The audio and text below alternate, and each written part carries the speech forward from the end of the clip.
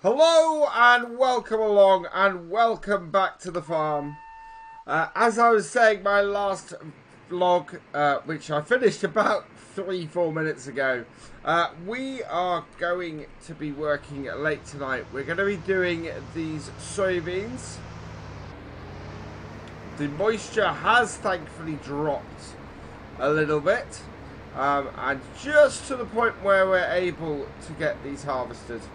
Uh, it's it's right on the edge of where I'd want to be in order to get these dried. So uh, so that's the good news, uh, and we are just going to really crack on through this field, get these done, uh, get this in. We are expecting snow overnight, so uh, this really is our last chance to get these soybeans cut. I don't think it's going to take us too long. Um, I don't think we're going to be working too far into the night, but we'll see where we end up here. Uh, to be honest, it's been a long day, and uh, yeah, just getting these in would be good. You can see the comb here just teasing the tops of these soybeans uh, onto the belt, and that was that was what I was talking about uh, when we were doing the wheat, I think it was. Uh, about uh, how this uh, this header is is much more set up for or we have this head up for the soybeans more than anything else. Uh, and that's because if we're not careful with how we drop the soybeans onto our header, we end up with uh, losing soybeans. They just shake out way too early. We kind of want them to, to end up shaking out in the thresher uh, behind uh, so that we can contain them better. Uh, whereas at the moment, uh, well, whereas if we are too hard, and they drop too heavily and too quickly onto the belt, we find we lose a lot of crop. And you end up with finding them on the ground down here. And you can see here, yeah, not not seeing any on the, not seeing any in the uh, chaff or the waste. So that's good news. So, uh, yeah, seems to be cutting pretty well. Oh, we've got a few weeds in here. I think we must have missed a couple of bits at the top end of the field. Uh, otherwise, we're good. This corner of the field is a pain, though. We're able to farm quite far into it, but it gets very uneven. Oh, see? We may not be able to get the stuff. We can get into the corner with the plough and the seeder a lot better than the uh, we can with the header on the combine and you can see it's lifting. I'm gonna have to avoid that bump I think. This is our first crop that we put on here so yeah I'm not surprised there's a, a, a section of stuff that, that we'll not be able to get at because of the roughness of this corner of the field to lift the header and back off. Right, and in. There we go. Yeah, not great. Uh, not a massive yield on this, but then this did get planted late. So uh, we'll see how much we get. To be honest, anything is good because it's uh, yeah, it was a it was a very late crop that we planted and, uh, and we'll see how it goes. It will be an earlier planting for next year. Um, we've got a lot of seeding to do before the end of the autumn. Wow. That go the whole way across, that did. We got the automatic leveler on the combine. It's not liking some of the bumps in this field. We might have to get a uh, some earth moving stuff on, or, or it'll just plough out eventually, to be honest. Although we won't be ploughing this field this year. There we go. Right, so uh, I, I will continue on, and uh, and we'll see. Uh, yeah, we'll see how far we get before we have a full tank. That will be fairly telling as to how well this field is doing. We're coming back to uh, the bottom end of the field and, uh, and we're on the second headland. We're 93% full. So we've got almost two full headlands off here uh, before we've got a full tank. Oh, that is quite something.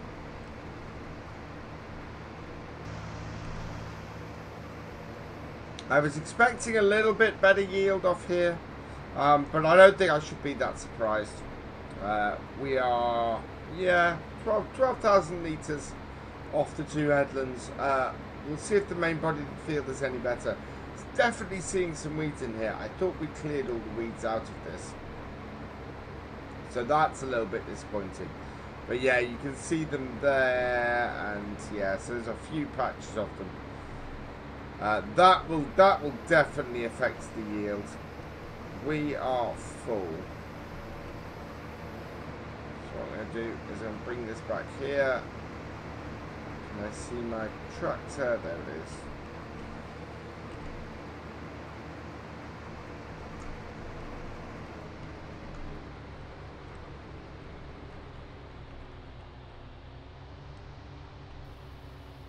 Empty out and then we can just get that little bit left of the uh, headland done and uh, and get into the main body of the field.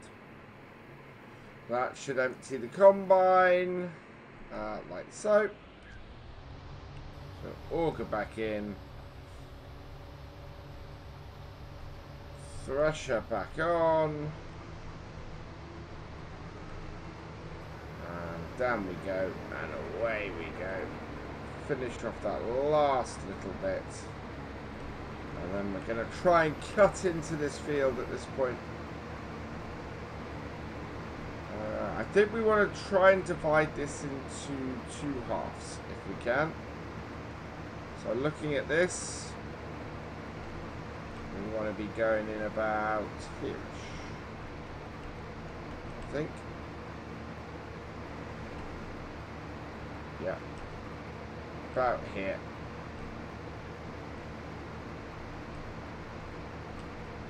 So line myself up.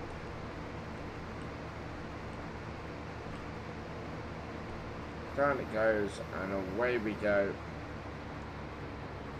We can actually line ourselves up fairly effectively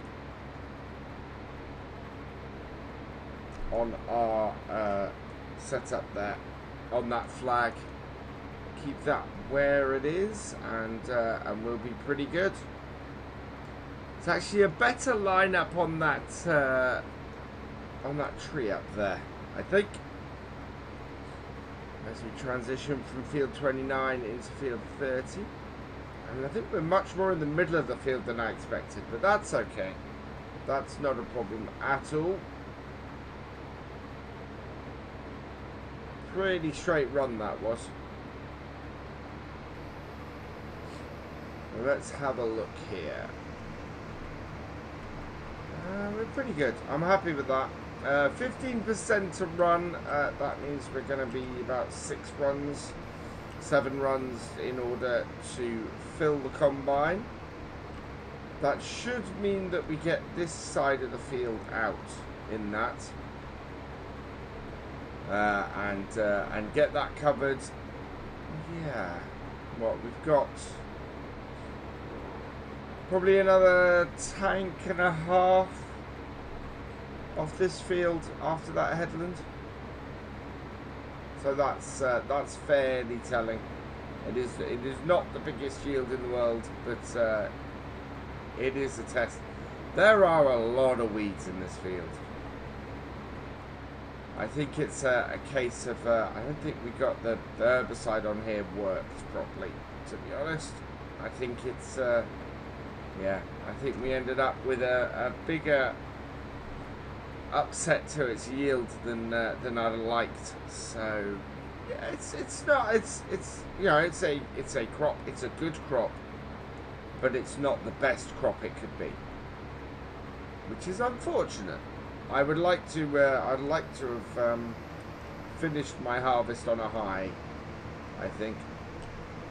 Instead, we're rushing it before the snow comes. That's kind of the way it goes sometimes. But the looks of the width of this, I could have gone over a little bit wider. But it's okay. We're not we're not going to get as much off here as I thought we were. We are, yeah. That was I was being hopeful. Two full tanks, I think, of soybeans off here. Not much more than that. You can see the point, actually, where these two fields meet. There's a drop there where uh, field 30 transitions into field 29. Uh, and I uh, and I came up on it, and you can see, yeah, as you can see from here, look at that drop. And the the header just wasn't able to lower far enough to uh, to get that. So what I'm going to have to do is I'm going to have to go across the field. We'll cut that, uh, and then uh, we'll we'll cut the next row there, and then we'll uh, as we're going through that row, we'll uh, we'll just stop halfway through and, uh, and try and come at it at a different angle. Maybe come at it from the bottom. I think if we'd uh, if we'd been coming at it from the other direction, we'd have been fine. So this this section here, we've got maybe two more cuts to get this done. This is actually a pretty big combine, and it it handles every field on this farm really well. It's the reason why we haven't upgraded to something more modern. Um, because it just, yeah, we don't need to. We're, we've, we've got, the, this is the right size combine for these fields. And, uh, and yeah, we just don't, we just don't need to do it. Look at that drop. You saw the, the way that just drops at that point. So I said, I'm going to back it off. We'll come out and around. If we approach this from the other direction, we should be able to get it cut. Yeah, the field just drops away too much. And coming up it though, we can get the header to work. Yeah, it just sailed over the top of it. It it was, it was absolutely ridiculous to watch. The header just sailed over the top of the soybeans. And I wish I'd realised at the time and I could have shown you guys, but it was, yeah. There was no way that we could get those soybeans uh, from from coming above down. It just you saw the uh, you saw the the little lip come. Uh, you saw it. Uh, I'm talking and I'm missing my mark. Uh, but you saw it, and the and the soybeans just whistled underneath the header. And then I knew that I wasn't going to get those cut from that direction. Uh, 83%. I think don't have enough space in this combine. Uh, oh no, we said 15% uh, didn't we? We should have, we should have exactly the amount of space we need.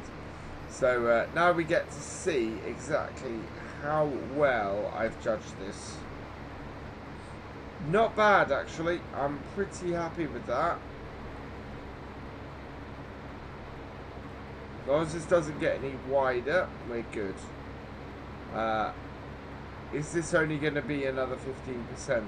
Or are we going to get to the end of the field and have just this tiny little bit of soybeans to cut? And uh, and have to go all the way down to the bottom end of the field. Because Chris has, Chris has gone home I think we might be slightly wider than our header at the moment. Let's give this a try. This is also not an advice. This is not an advisable way to do this. Better way to do this is this. So we'll take half here and we'll cut. And then we know we can easily fit everything in the header on the way back. and we may only be half uh, halfway down the field other than, uh, instead of the whole way down the field if we get too full. There is no way I think I can get this stuff off this corner.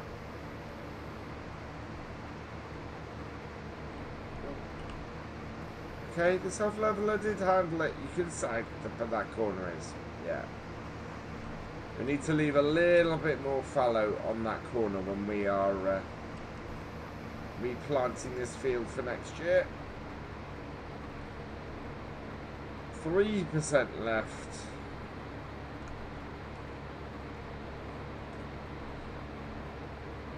I think we're going to have just a little bit left in the middle of this field. Because there we go. That is just about a full tank right there. Pressure off. Got my auto unload on that. But it's going to be, yeah, we're not going to be pulling very far forwards. So I'm just going to run back to my uh, to my tractor and bring that over.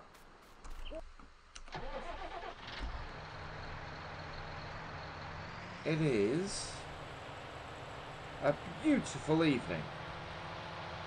Really gorgeous.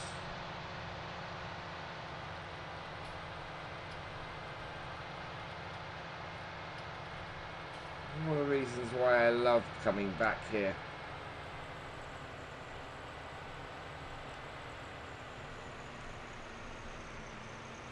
There we go. Round.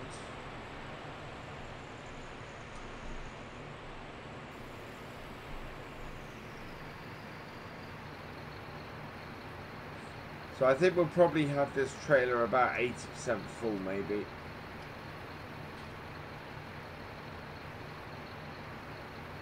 By the end of this. There we go. 80% exactly. Wow. That was, uh, that was uh, not quite what I expected. I expect to be wrong. I will admit that I expect to be wrong. Jump in. Start up our thresher again. And away we go.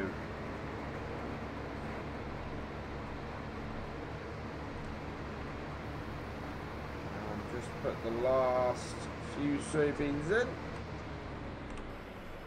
Right.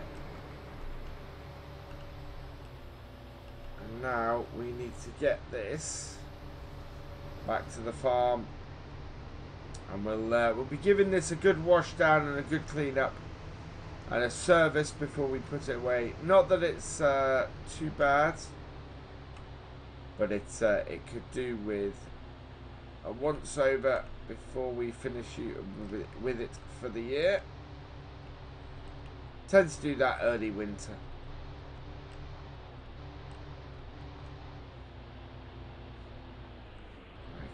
See the bit on that side, not on that.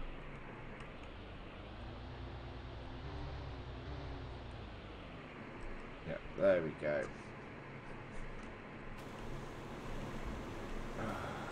Down there. Let's unhook. Get right in here. There we go. And then drop that off. That is not well on that.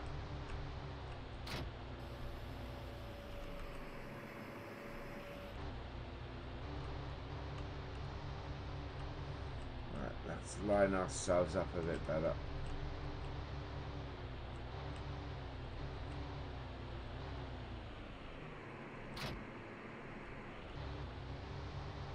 There we go. That's much better.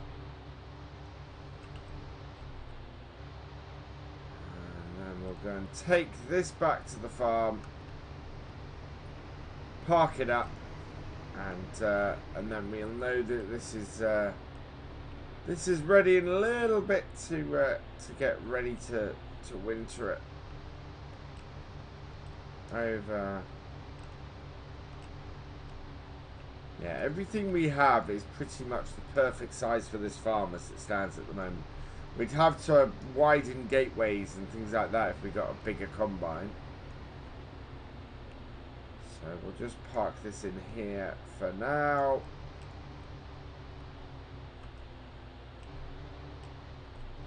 With its header. There we go.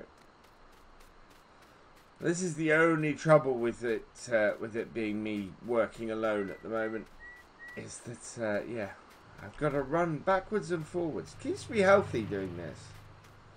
But if the farm was much bigger, I wouldn't be able to do it. You don't really want to be running over acres and acres of land. Alright. There we go. Start up the little engine that could. And we'll get this back as well. Just, ooh, needs to be careful.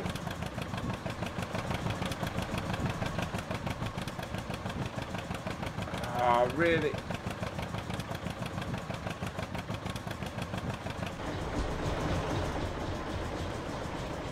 Doesn't lock down onto here properly.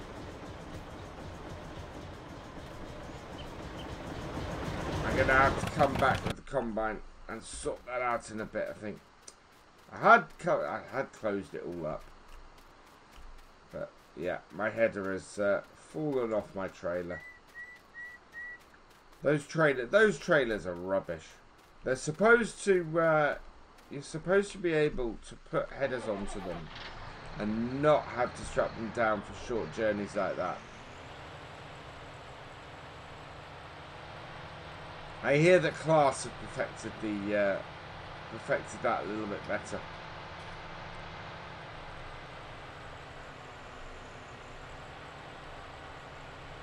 But I'll need to bring the combine back over because I've got nothing else to lift that with. All clear. Put my headlights on. Because It's getting harder and harder to see at the moment. And bring it up. And tip it. And we tip sideways in here because there's just not enough space to, uh, to tip up straight. Tipping sideways, I need to be careful I don't hit the edge either. We're good. We're in a good position.